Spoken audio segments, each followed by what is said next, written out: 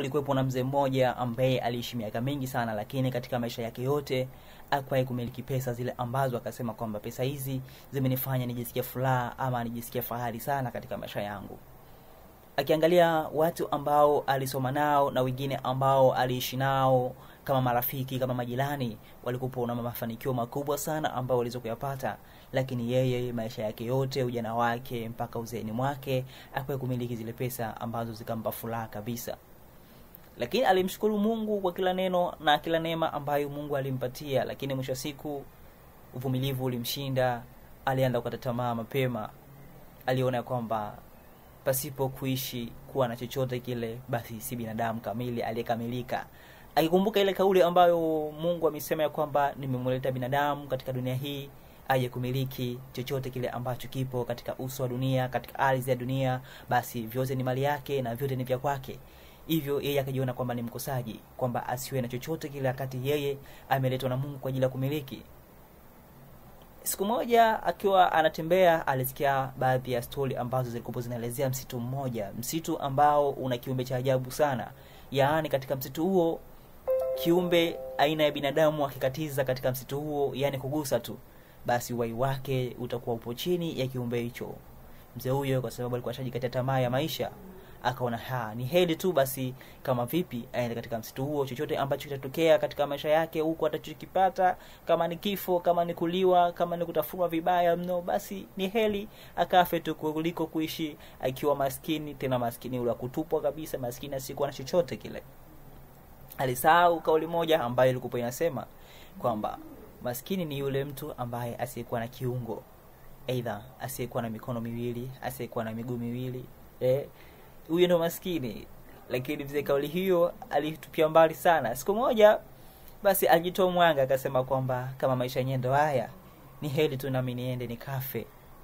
Basi moja kwa moja, ilikuwapo ni majira ya saa tisa za usiku, alitoka nyumbani kwake na kuelekea mpaka katika msitu huo. Hakika msitu huo ulikuwa unatisha sana, yaani ukimya ambao umetawala katika msitu huo, atapanya hauwezi kusikia sauti yake, yani hata sisimizi tu huwezi kuisikia sauti yake kwa utulivu ambao msitu huo uliokuwa nao. Mzee huyo bila uoga, bila wasiwasi wa aina yoyote ile, aliingia katika msitu huo, na baada ya kuingia tu, ghafla upepo mkali ulivuma, na upepo ule ukaashiria kwamba katika msitu huo kuna mfalme ambaye anaishi ndani ya msitu huo na ni kweli, ghafla tu mbele yake alitokea kiumbe mmoja wa ajabu mno, kiumbe ambaye alikuwa na sura nyingi mno, lakini na meno marefu mno, na mwili wake wote ulikuwa na magamba magamba kama vile mamba. Kiumbe yule alipomtokea yule mzee mbele, akacheka kwa sauti ya ajabu mno, ambayo sauti hiyo ilifika mpaka katika kijiji ambacho ametoka mzee yule. Basi watu waliposikia tu sauti hiyo, wengi walijifungia milango yao na kujificha kabisa, lakini mzee yule asiogope na wala asitetemeke na wala asiwe na hofu yoyote ile. Baada ya hapo, yule kiumbe akamwambia, ina maana umekuja katika msitu huu, hujawahi kusikia stori zangu? Mzee yule akakaa kimya kwa muda mrefu, kisha na kumwambia, stori tu nimezisikia, ila nimekuja kwa sababu nahitaji kufa. Unahitaji kufa? ndio nahitaji kufa. Kwa nini unahitaji kufa? Mzee yule akamwambia mzimu kwamba nimekuja, nahitaji kufa kwa sababu maisha yangu yote, ujana wangu wote nimeishi kwa shida, dhiki, umaskini, tabu, manyanyaso yote nimepitia mimi. Je, yeah, ungekuwa wewe ungestahili kuishi katika dunia hii? Angali unawaona marafiki, majirani pamoja na ndugu ambao umeishi nao kwa karibu, wanaishi maisha mazuri ya kifahari, tena yasiokuwa na shida yoyote. Kiumbe yule akamuuliza, ina maana umekuja kuishi, umekuja kufa kwa sababu ya umaskini? Mzee akasema, naam, nimekuja kufa kwa sababu ya umaskini ambao umekithiri katika maisha yangu. gafa yule mtu ama yule mzimu ukapotea, na kisha kama sekunde tano akarudi tena na kumwambia, aha, kama ni hivyo basi nakukabidhi zawadi hii. Hii zawadi ni nzuri sana katika maisha yako, utaifurahia nayo itabadilisha maisha yako yote, na utapunguza machungu yote yale ambayo yalikupata yalikusibu katika maisha yako. Nafikiri kupitia zawadi hii utasahau yote, lakini endapo nitakapokupa zawadi hii na utarudi tena katika msitu huu, basi sitoongea na wewe kwa lolote lile nyama yako itakuwa ni chakula changu mzee akamwambia haina shida nashukuru sana. Alipoangalia ile zawadi alikuta ni dhahabu ambazo zilikuwa za thamani kubwa sana katika dunia. Mzee alichukua zile dhahabu na kumshukuru ile kiumbe na kisha kurudi nyumbani kwake. Akiwa anarudi nyumbani safari ambayo ametoka katika msitu wa kutisha msitu ambao hakuna kiumbe chochote ambacho kinakatiza ama kuishi isipokuwa ni kiumbe yule tu wa kutisha wa ajabu mno mzee akiwa na furaha isiyokuwa na kifani akasema umaskini kwa heli sasa machungu yote yamekwisha. Akiwa anakaribia nyumbani kwake ile anaingiza tu mguu wake wa kulia ghafla pale pale akasikia sauti ikimwambia karibu karibu. Nilikusubiri kwa muda mrefu sana nilikuwa nataka kuja kuichukua roho yako. Sio nilikuwa nataka nimekuja kuichukua roho yako. Nimetumwa na mungu kwamba maisha yako ya kuishi katika dunia hii sasa yamekwisha inabidi ukapumzike nawe. Mzee akashtuka na kusema ina maana yote ambayo nimeyafanya na yote ambayo nimeyapata siku ya leo ya kubadilisha maisha yangu ni kazi bule ina maana gani? Akamwambia nimekuja kuchukua roho yako na si lolote lile. Nimekuja kuchukua roho yako na si lolote lile naomba sasa uniruhusu. Mzee akamwambia basi nikuombe kitu kimoja unisaidie. Naomba unipe muda nikaziuze hizi mali na baada ya hapo niwegaiwe maskini pamoja na watu wote wenye shida na matatizo ambao wanaishi katika mji huu na nitaporudi ndipo uichukue roho yangu.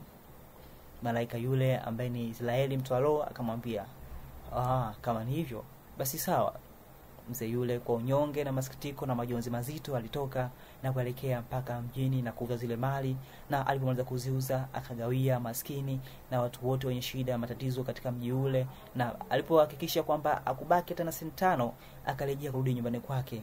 Alipofika nyumbani kwake alimkuta malaika akiwa anamsubiria kwa hamu kubwa sana lakini malaika yule cha ajabu alimwambia ya kwamba mzee umesamehewa na mungu amekuongezea umri wa kuishi katika dunia hii.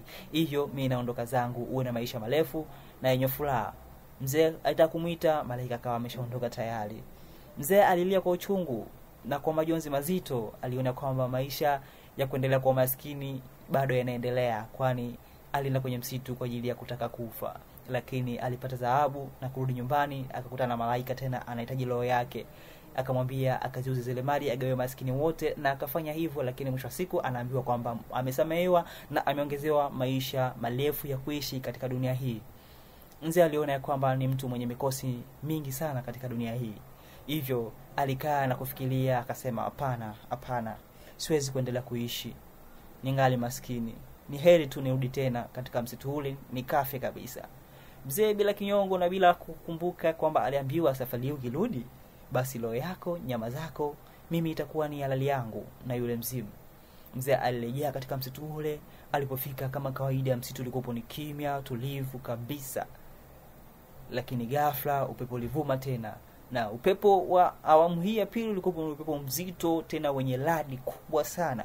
Na kisha yule mzimu ukatokea mbele yake na kumwambia umerudi umerudi tena. Ina maana umesahau kauli nilokuambia yule mzee akamsimulia mkasa mzima wote ambao ameupata. Yule mzimu akamwambia oha kwa sababu wewe ni binadamu mzuri na mwenye busara basi nami nitakupa zawadi nyingine. Yule mzimu ukapotea na ghafla ukarudi tena. Uliporudi safari hii ya mara pili urudi na sanduku kubwa mno sanduku ambalo lilikuwa limejaa dhahabu nyingi sana na kisha kumkabidhi yule mzee na kumwambia sasa dhahabu ni hizi hapa ni za kwako. Naomba ukauze. Nafikiri hakuna tajiri ambaye atakuzidi wewe katika dunia hii isipokuwa ni wewe peke yako ndio utakuwa mmiliki wa mali na fedha zote katika dunia hii.